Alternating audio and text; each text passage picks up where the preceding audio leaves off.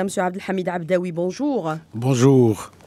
Alors, 1er euh, novembre, une date hautement symbolique qui marque le déclenchement de notre glorieuse révolution 1954, une date qui coïncide aujourd'hui avec la tenue de la 31e euh, session du sommet de la Ligue arabe qui sera présidée incessamment par l'Algérie, puisque la passation va se faire entre la Tunisie et euh, l'Algérie, avec bien sûr les deux présidents qui seront ici présents au niveau du CIC. Le symbole et le déploiement aujourd'hui de la diplomatie algérienne qui a marqué ses premiers pas lors de la conférence de Bandung en 1954. On est sur la même lignée aujourd'hui, Monsieur Abdaoui. Absolument, mais avant de vous répondre, euh, je voudrais d'abord, à l'occasion de ce 1er novembre, euh, m'incliner euh, devant la mémoire de nos vaillants martyrs de la révolution algérienne, de la révolution, et les martyrs du devoir national. Euh, pour revenir à votre question, effectivement, donc euh, euh, c'est une forte charge symbolique que véhicule cette date, à la fois le déclenchement de la révolution algérienne, il y a 68 ans de cela, et également la tenue de ce sommet arabe. Le choix n'est pas anodin parce que ça représente pour nous Algériens et pour toutes les nations arabes, à l'époque, euh, une charge importante, euh, un référent également dans l'action commune arabe, dans la mesure où euh, tous les États arabes ont apporté leur soutien à la révolution algérienne et à la lutte du peuple algérien dans sa lutte de libération. Bandung, bien sûr, représente le départ en 1955 de la diplomatie algérienne, bien que la diplomatie algérienne avait déjà euh, entamé une marche dans la, durant la guerre de libération nationale avant 1954. Euh, nous sommes toujours sur la même lignée euh, de 1955. Nous sommes fidèles toujours sur le plan diplomatique à nos principes.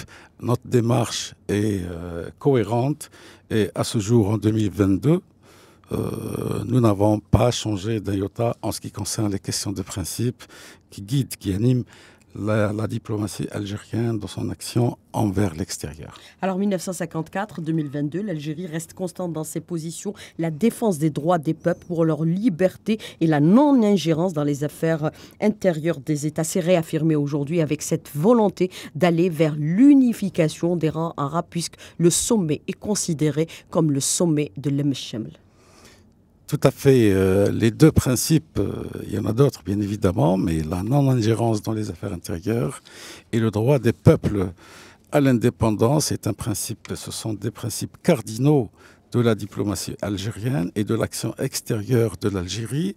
Euh, on le rappelle encore une fois aujourd'hui à l'occasion de ce sommet arabe qui est le sommet de la réunification des rangs arabes autour de facteurs, d'un ensemble d'éléments communs à tous les États arabes.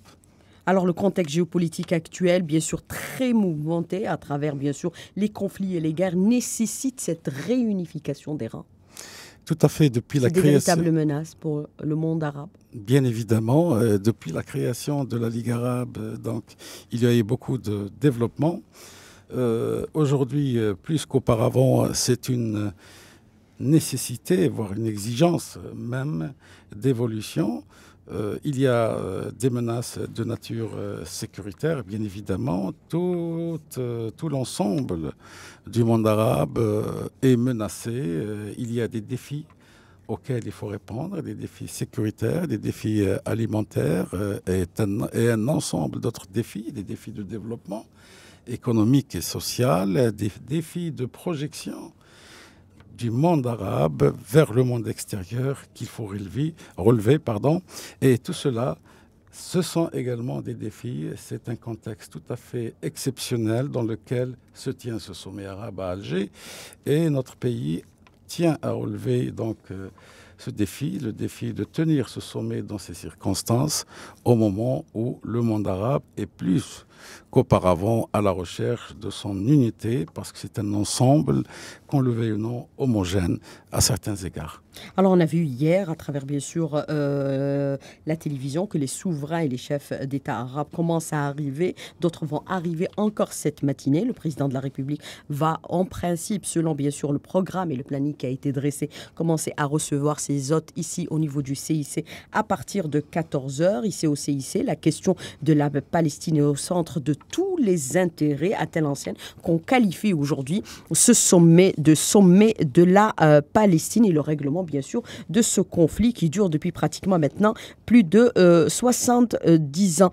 Plusieurs initiatives ont été bien sûr euh, engagées par l'Algérie, couronnées aussi par un succès, puisqu'il y a eu la signature de l'accord d'Alger. Aujourd'hui, la nécessité de sa mise en œuvre doit être discutée au plus haut niveau par les chefs d'État et les souverains arabes qui vont se réunir à partir de cet après-midi ici au niveau du CIC. Monsieur Abdaoui. Parfaitement. C'est ce qu'il a déclaré, M. Lamama, hier. Oui, tout à fait. Parfaitement, le, les chefs d'État et souverains arabes euh, auront à discuter de cet accord, bien évidemment, pour lui donner un sens opérationnel, un sens pratique. Parce que, premièrement, euh, ça concerne tout le monde arabe, tous les États arabes sont concernés par la question palestinienne, qui, il faut le rappeler, est la question centrale et on n'insistera jamais sur la centralité de la question palestinienne pour l'ensemble du monde arabe. Euh, une des raisons d'ailleurs de la création de la Ligue arabe, c'est la question palestinienne c'est le soutien à la question palestinienne. Et euh, l'Algérie, dans ce cadre, a joué un rôle euh, immense, je dirais, à travers la réunification des rangs palestiniens et l'accord du 13 octobre dernier. Je dois rappeler également les efforts inlassables de la diplomatie algérienne selon les orientations de M. le Président de la République, Abdelmajid Tebboune, dans ce cadre. Et euh, l'Algérie a mené euh, depuis plusieurs mois des actions donc, euh, discrètes pour discuter, pour échanger, pour avoir les avis des uns et des autres. Et le résultat a été scellé par un accord de réconciliation interpalestinien qui a été signé entre 14 donc, euh, factions au mouvement palestinien à Alger. Et cela donne de l'espoir dans l'action arabe en direction euh, donc, de la question palestinienne et du peuple palestinien en, par voie de conséquence. Ce que je dois rappeler aussi, c'est que ce sommet d'Alger, c'est la réunification premièrement des rangs palestiniens, c'est la question palestinienne qui est centrale, c'est elle qui unifie, qui réunit tous les peuples arabes. Il y a une charge très importante de cette question euh, sur le plan, euh, euh, je dirais, des peuples arabes. Et il y a une relance, si vous voulez, de la question palestinienne, de ce qu'il faut faire en direction des Palestiniens pour libérer, donc pour arriver à un résultat qui soit euh, en rapport avec tous les investissements qui ont été faits par le passé. Cette euh, réunion euh, d'Alger marque à certains égards une rupture dans l'approche arabe à l'égard de la question palestinienne. Alors le président Mahmoud Abbas est arrivé hier à Alger pour bien sûr la tenue de ce sommet qui va durer euh, deux jours. Vous parlez d'un sens opérationnel et pratique qui va permettre, Monsieur Abdaoui, à terme l'organisation des élections euh, législatives et présidentielles en Palestine, bien sûr euh, dans une échéance n'excédant pas euh, une année. Alors le mécanisme de mise en œuvre sera aussi piloté par l'Algérie puisqu'elle est à, euh, à l'origine de cette initiative de réconciliation interpalestinienne. Monsieur Abdaoui, c'est ce qu'a déclaré aussi euh, le ministre des Affaires étrangères. Monsieur Romtal Bien sûr, l'Algérie a fait beaucoup dans ce cadre. la première aussi à payer les cotisations palestiniennes. L'Algérie a toujours été donc à jour dans le paiement des cotisations et dans l'aide à l'endroit des Palestiniens.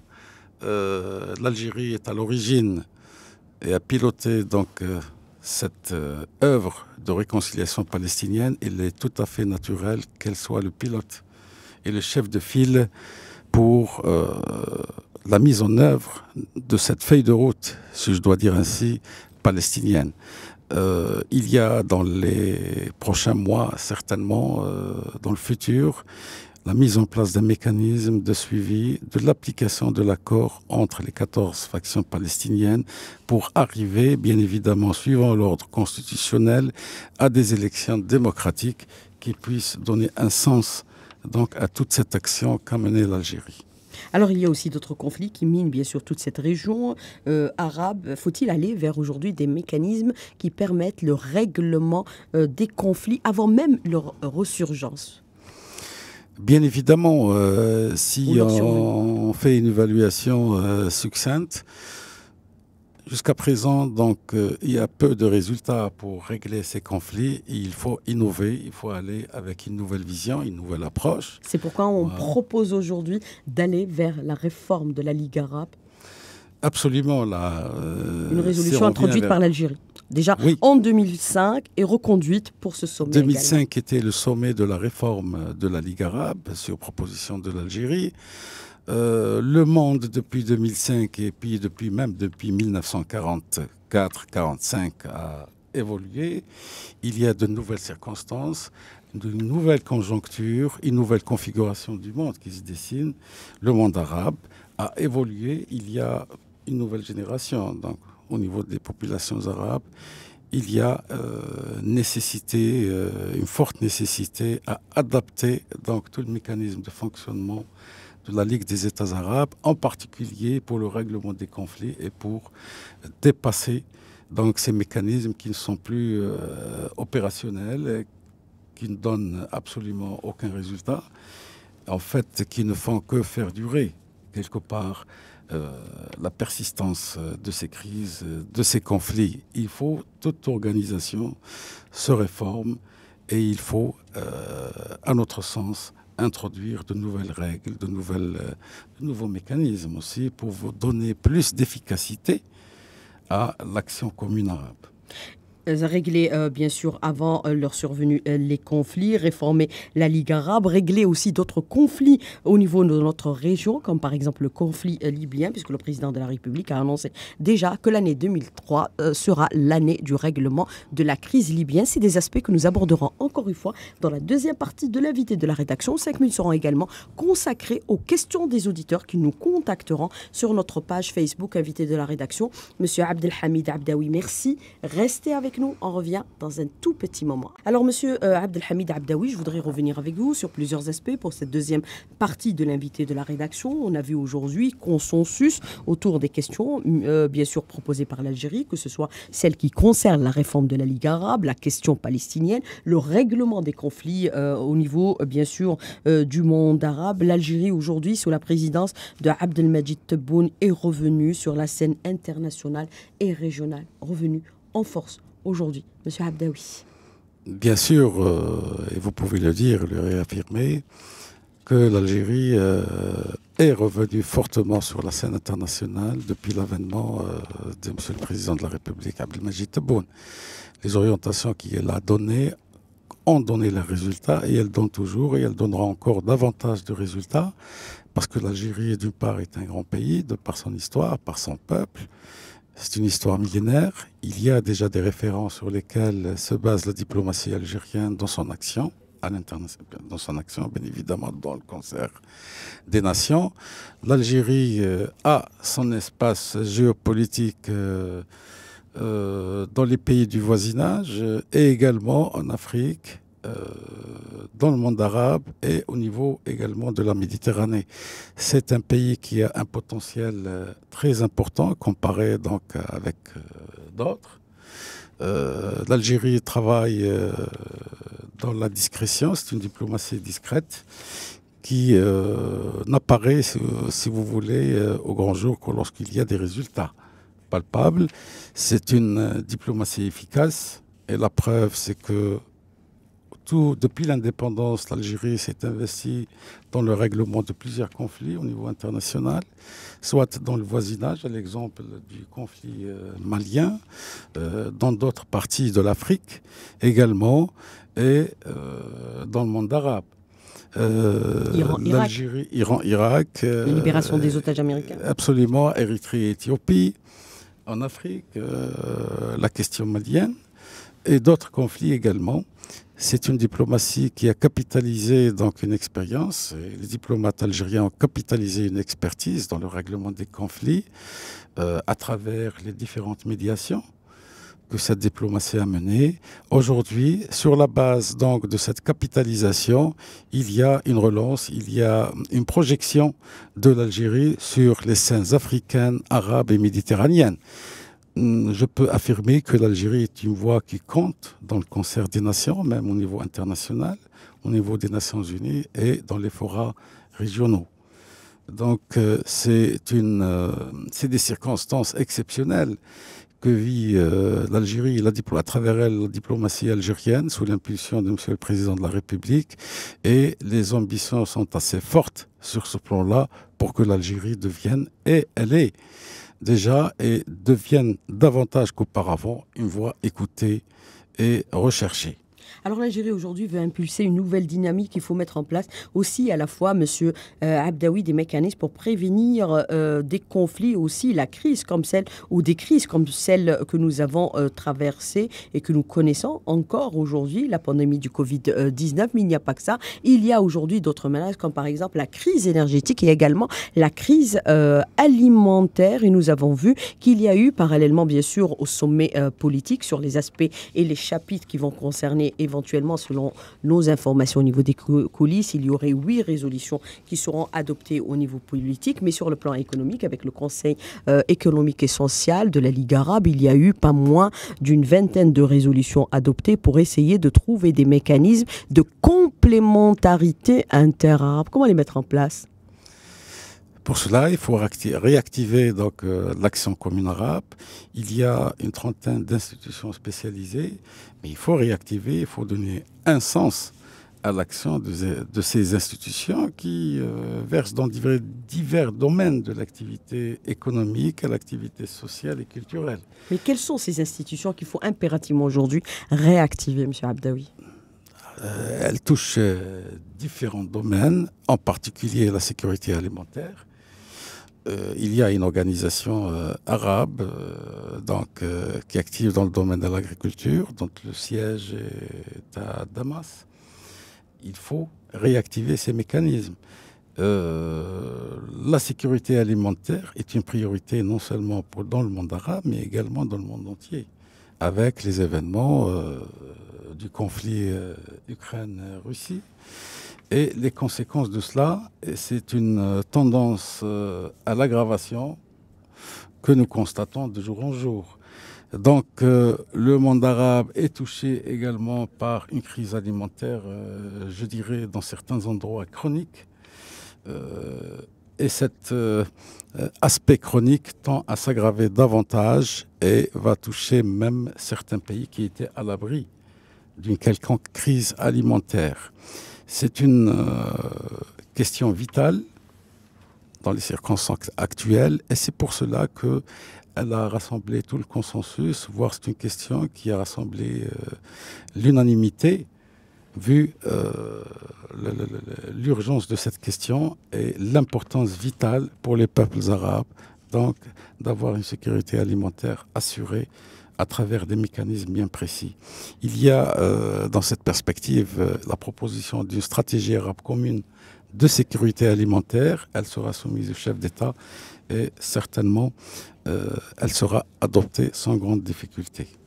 Alors, le conflit Ukraine-Russie, est-ce qu'on peut considérer aujourd'hui, par rapport à ce que vous déclarez à l'instant, Monsieur Abdaoui, qu'il a mis à nu les vulnérabilités des pays et des États, d'où la nécessité aujourd'hui d'aller vers, euh, c'est-à-dire cette complémentarité entre les pays, notamment les pays arabes, parce que nous avons la proximité et nous avons de vastes territoires qui regorgent à la fois de richesses, et on prend l'aspect énergétique, c'est 40% euh, de l'énergie mondiale qui est au niveau de cette région.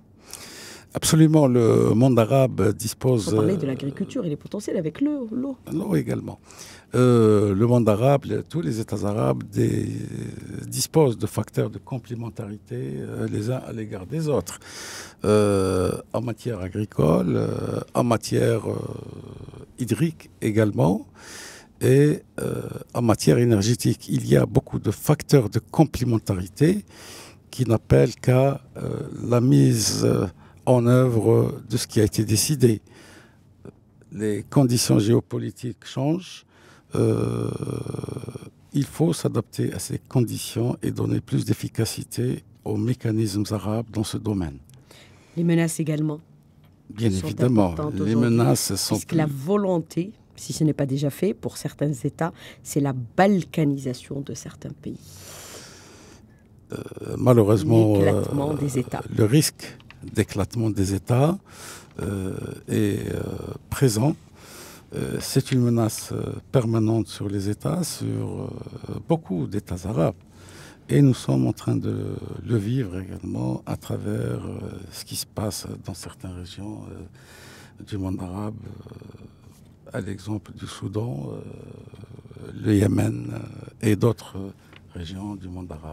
Mais est-ce qu'il y a aujourd'hui convergence euh, sur la nécessité de mettre de côté les divergences pour l'intérêt général, l'intérêt des peuples et des nations arabes? Est-ce qu'il y a ce consensus sur cette question précisément, Monsieur Abdaoui, puisque en approchant certains ministres des Affaires étrangères des pays qui sont présents au niveau de ce euh, sommet, les 22 euh, États, à l'exception de la Syrie qui a accepté de ne pas être présent d'un commun euh, accord, c'est tout le monde est conscient de toutes ces menaces qui existent actuellement. Et tout le monde est à la fois solidaire. Mais dans les faits, parfois ce n'est pas la réalité. Oui, euh, dans ce cadre euh, donc, qu'est la Ligue des États arabes, les discussions et les échanges, il y a eu beaucoup d'échanges pour rapprocher les points de vue et pour dire qu'il faut se rassembler autour de facteurs et d'éléments euh, communs à l'ensemble des États arabes pour unifier la, la religion, bien évidemment, la langue, oui, les traditions. Tout à fait. Il y a énormément de facteurs qui rassemblent les peuples arabes et l'Algérie a travaillé inlassablement pour avancer ces éléments de langage, pour euh, faire valoir sa position. Et c'est pour cela qu'on peut dire que ce sommet va être le sommet de la réunification autour de ce qui euh, unit, et pas, l'inverse. Et pas l'inverse, parce que nous sommes conscients du fort potentiel dans ce cadre-là, des facteurs de rassemblement, des dénominateurs communs qui ne peuvent que concourir à euh, opérer, si vous voulez, une rupture dans l'action commune arabe qui est celle d'aller de l'avant en capitalisant sur tout ce qui est positif, tout ce qui rapproche. D'où, euh, bien sûr, euh, son appellation, ou son, bien sûr, slogan, euh, le sommet de l'Em Alors, je voudrais revenir aussi avec certains aspects, puisqu'on a beaucoup parlé de l'aspect politique, de l'aspect, bien sûr, économique par rapport à cette sécurité alimentaire. Un marché arabe commun, c'est possible aujourd'hui dans le contexte actuel, puisque nous avons vu que ceux qui résistent, ce sont les blocs qui se constituent, que ce soit pour le BRICS, que ce soit pour l'Union européenne, ou vous avez aussi euh, euh, d'autres, la CDAO par exemple, ou d'autres États aussi qui sont fédérés autour, euh, bien sûr, des blocs. Malheureusement, la réalité est amère. Le monde arabe ne dispose pas d'un marché unique. C'est le seul, c'est la seule zone géopolitique qui n'a pas un regroupement, où il n'y a pas un rassemblement, rassemblement économique. le niveau des échanges n'excède pas les 8%. Oui, malheureusement, euh, ça du part. Il y a Alors que les plus grands capitaux se situent au niveau de cette au région. Du monde arabe. Il y a. Euh, Avec les gisements pétroliers le Le monde arabe est devenu, malheureusement, au lieu d'être de capter donc, les capitaux, est devenu euh, exportateur de capitaux pour les investir dans les, dans les pays occidentaux. investir dans d'autres endroits, dans d'autres marchés, alors que d'autres régions du monde arabe sont demandeurs d'investissement de capitaux. C'est la triste réalité. Donc, euh, la Ligue des États arabes travaille dans ce cadre, mais ça sera une œuvre euh, assez qui ne sera pas du tout euh, facile. Les, il faut d'abord revoir les législations des États arabes les règlements des marchés, euh, l'établissement de règles communes, euh, bien évidemment, et pour arriver à l'établissement d'un marché commun arabe. Mais euh, on a vu, à travers bien sûr tous les sommets qui se sont tenus, déjà l'Algérie à elle seule, on a abrité quatre sommets depuis les années 70 à ce jour. Il y a eu celui de 2005, c'est celui bien sûr des réformes qui ont été annoncées, proposées par l'Algérie, qui ont permis la mise en place bien sûr d'un parlement arabe, d'une cour arabe. Est-ce qu'il va falloir aussi introduire éventuellement une, c'est-à-dire une une mesure qui, qui contraint euh, les États à euh, respecter leurs engagements euh, au niveau de la Ligue arabe. Une résolution. Voilà, je cherchais le mot. Une résolution obligeant les États arabes à, à respecter leurs engagements entérinés lors des sommets. La Ligue des États arabes est constituée de volontés, des volontés des États arabes il faudrait revoir ce fonctionnement, puisque ce n'est pas le même principe par rapport à l'Union européenne. Absolument. Euh, et, voilà, il est indéniable. Un État transgresse les règles de l'Union européenne, il est rappelé à l'ordre. Oui, organisation, on n'est malheureusement pas arrivé Elles sont exécutoires, les résolutions de euh, l'Union européenne. La vie des organisations euh, internationales est longue, c'est le temps long qui, qui exige donc. c'est un peu trop long aussi. Même euh, au niveau des Nations Unies, on parle toujours de réforme, mais c'est assez long quand même. C'est un processus qui prend du temps. Euh, cela étant dit, effectivement, la nécessité d'une réforme donc, de la Ligue des États arabes est à l'ordre du jour. Maintenant, les échanges se font entre les États parce que c'est eux qui sont l'âme, c'est l'âme donc de la Ligue des États arabes. Et c'est à travers les échanges qu'on arrivera à rapprocher les points de vue des uns et des autres. Et euh, même les responsables au niveau de la Ligue des États arabes sont conscients de la nécessité d'aller de l'avant dans cette œuvre de réforme de la Ligue des États arabes. Mais c'est une œuvre qui prendra un peu plus de temps que un peu plus de temps. Alors, euh, monsieur euh, Abdaoui, vous avez cette question aussi de l'auditeur qui vous dit aujourd'hui, puisqu'on parle de convergence de points de vue, on parle quasiment de consensus entre les États par rapport à certaines questions, la question palestinienne qui fait aujourd'hui l'unanimité au niveau des pays et des États euh, arabes. Est-ce qu'on peut considérer ou qualifier déjà que le sommet est quasiment à 90% réussi ou à 100% réussi, puisqu'on va attendre, bien sûr, le sommet, c'est les chefs d'État et les souverains arabes? Je dirais que pas à 90%, c'est un sommet réussi, pleinement réussi à 100%. Pourquoi? Parce que déjà... À travers les différentes étapes, de celle des délégués et celle des ministres d'affaires avant, avant cela, parce que la préparation, la préparation d'un sommet pareil euh, demande beaucoup de temps, bien avant. Donc il y a le pré-sommet, au niveau de la Ligue des États arabes à travers les échanges, les consultations sur les différentes questions politiques et économiques. Euh, nous avons des évaluations sur cela. Nous faisons des évaluations permanentes de notre action. Dans ce cadre, il y a une réussite du sommet au niveau organisationnel.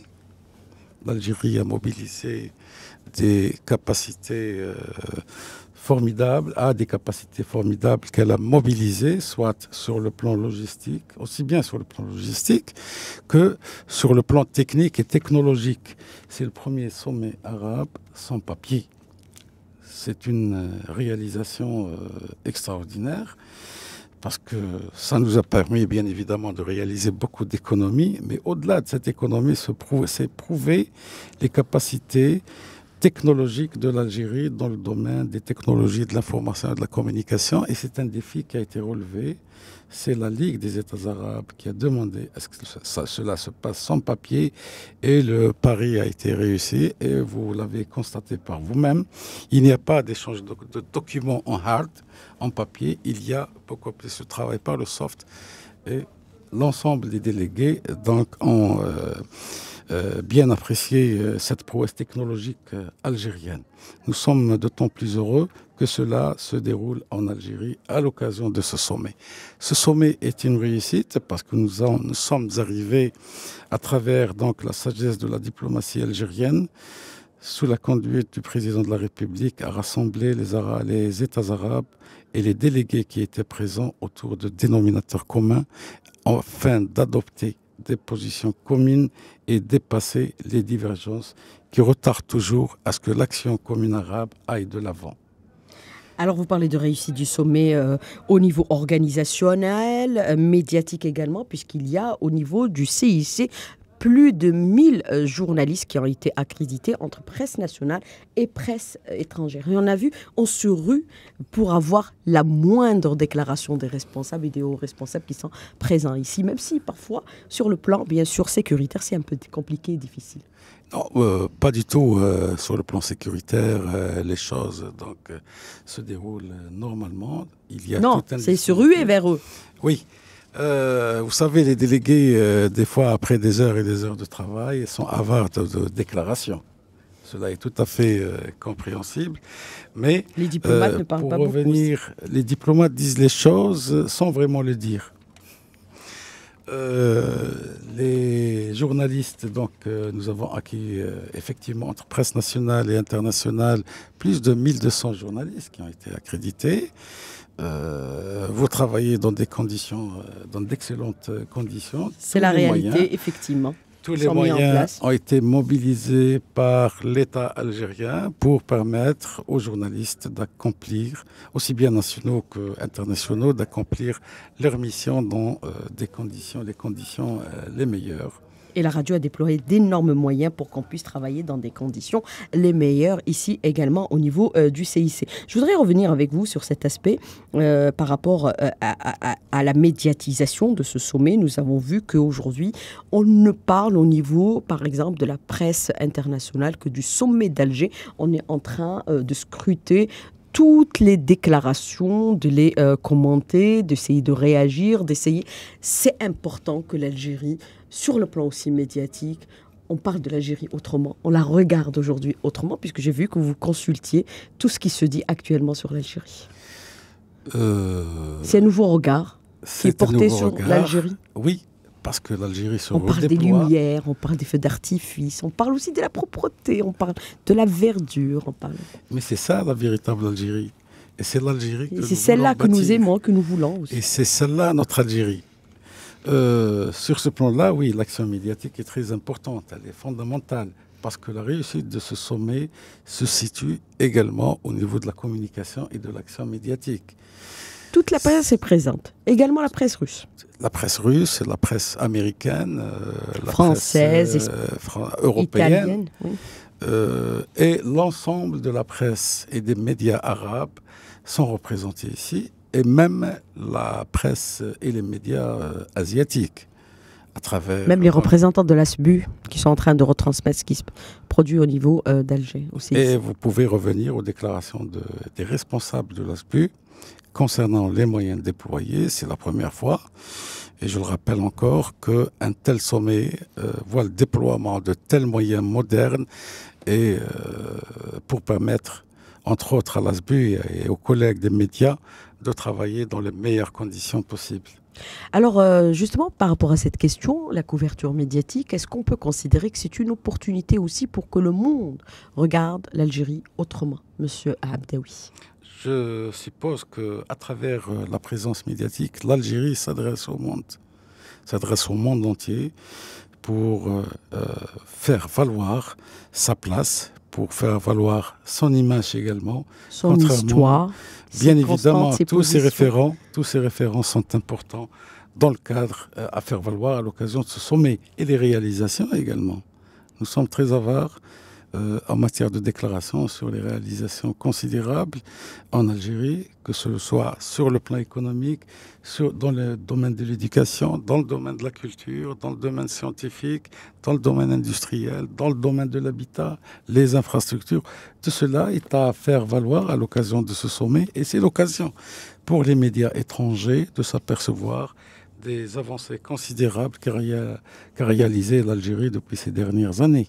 Et c'est le rôle aussi de la diplomatie algérienne, défendre les intérêts du pays à tout point de vue, même sur le plan économique aujourd'hui, monsieur euh, Abdaoui, puisque nous avons une nouvelle législation qui ouvre les opportunités importantes d'investissement dans notre pays, bien sûr avec l'adoption euh, du code nouveau de l'investissement, avec ses différents amendes, euh, textes d'application qui sont déjà en vigueur. Oui, il y a euh, bien évidemment. On veut s'ouvrir aussi sur ce mandat pour capter les investissements, puisqu'on parle un peu du capital qui est en train de circuler, qui est un des plus importants au niveau de cette région. Oui, il y a une ouverture. Du Maghreb et du Moyen-Orient. il y, a, il y a effectivement une ouverture sur le plan de la législation en matière économique. Euh, L'Algérie est un euh, pays euh, fort par son potentiel. Il est tout à fait évident que la diplomatie économique joue un rôle également dans cela pour la projection de l'économie algérienne vers l'extérieur à travers les entreprises, à travers la captation des capitaux et également à travers la projection du produit algérien dans divers marchés internationaux où il a prouvé donc la qualité, sa qualité, donc il y a une qualité à défendre du produit algérien, contrairement à ce que euh, disait il y, a, il y, a, quelque temps certains. Et cela a été prouvé quant à la qualité du produit algérien. Il y a également une projection sur le plan culturel, il y a une projection de la diplomatie algérienne sur le plan culturel. Les diplomates qui étaient présents ont assisté bien sûr, à l'opéra. À l'opéra. Voilà. Il y a également une projection sur le plan de la diplomatie religieuse. Il y a une projection avec les Méditerranéens de la diplomatie sportive. Tout cela est un ensemble donc, qui constitue la diplomatie, pas au sens vraiment classique, mais au sens nouveau donc de l'approche algérienne en matière d'action extérieure. Alors quand vous parlez euh, de captation euh, de capitaux, rapidement sur cette question de l'auditeur, est-ce qu'on pourrait envisager, comme cela se fait au niveau par exemple de l'Union européenne, aller vers une monnaie unique arabe Est-ce que cela pourrait être envisagé, discuté dès maintenant pour être, aboutir dans 10 ans, voire même 20 ans Monsieur Abdaoui?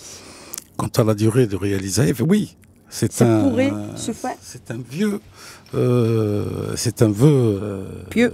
non, pas du tout pieux, mais c'est un vœu. Euh, c'est un objectif, mais il faut d'abord mettre les conditions en place pour arriver à la réalisation de cet objectif. Bien évidemment, l'ensemble du monde arabe et l'ensemble des États arabes aspirent. Personne ne vous dira que nous ne voulons pas d'une union, d'une union, d'un marché unique arabe, d'une union économique arabe. Briser certaines barrières, les visas entre les États arabes? Entre autres, oui, il faut qu'il y ait une la libre circulation. Il faut qu'il y ait une liberté. Ça commence par ces quelques actions euh, au niveau de la circulation des personnes, des biens et des biens également. Alors la crise climatique s'amplifie aujourd'hui. Comment les pays arabes vont réagir pour limiter ces effets qui peuvent être extrêmement néfastes par rapport à la crise alimentaire et la rarification de l'eau au niveau Je dirais que les deux, il y a un effet de vase communicant entre les deux, entre la crise alimentaire d'une part et la crise climatique ou bien l'environnement d'une manière générale. La crise climatique est, un défi majeur pour les pays arabes. Il y a de moins en moins de précipitations, moins de moins, euh, de moins, il y a moins de pluviométrie. Il y a des défis sur ce plan-là énormes qu'il faudra sur lesquels il faut euh, pencher. Et c'est une des questions autour de laquelle un consensus a été euh, réalisé. Et c'est des questions aussi qui vont être discutées encore une fois entre les différents chefs d'État, puisque le sommet va s'ouvrir en fin d'après-midi. Monsieur euh, Abdelhamid Abdaoui, merci d'avoir répondu à nos questions, d'avoir été en direct avec nous à partir du CIC. Merci beaucoup. Bon courage aussi à l'équipe de la chaîne 3 qui est ici présente au niveau du CIC. C'est moi qui vous remercie. Et merci bien sûr aux techniciens et réalisateurs. Merci. Merci à tout le monde.